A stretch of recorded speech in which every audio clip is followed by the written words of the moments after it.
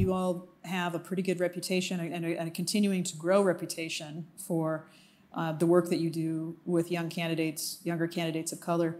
But it also seems like there's a, there's an evolution of who's voting and who's visible in the growing mid-level cities um, around in the south part of King County, in the eastern parts of King County.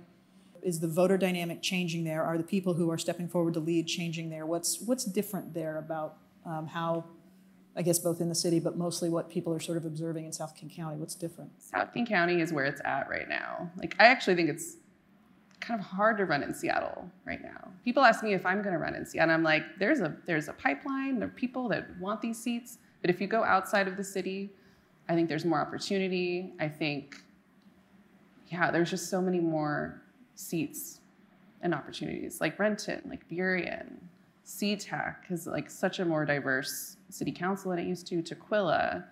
And I think we saw it in this last election. It's very democratic. You know, even if it's moderate, it's still democratic. Mm-hmm. And so there's room for young folks to run and be progressive, but also, you know, again, like share values with people.